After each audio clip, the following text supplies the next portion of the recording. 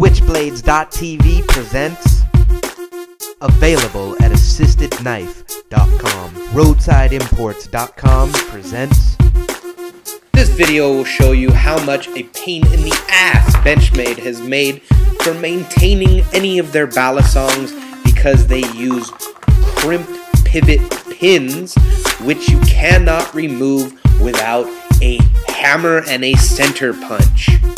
First, you will need Torx screwdriver to unscrew the screws.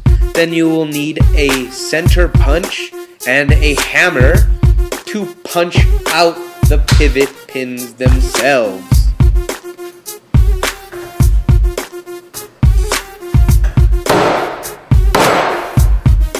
Benchmade could have came up with a simpler design using a slotted pivot pin to lock it into place, but don't expect anybody at Benchmade to use their brain at all.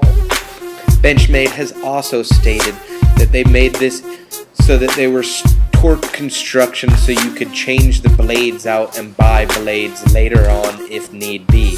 Which is a load of crock because they don't sell any replacement blades and of course, if you change the want to put bronze phosphorus washers in or do some maintenance to it, you'll void the warranty.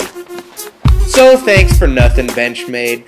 And when Bradley Cutlery starts their Balisong line, I hope they crush you and hurt your sales immensely. Available at AssistedKnife.com. Got questions? I got answers. Email me at jb at roadsideimports.com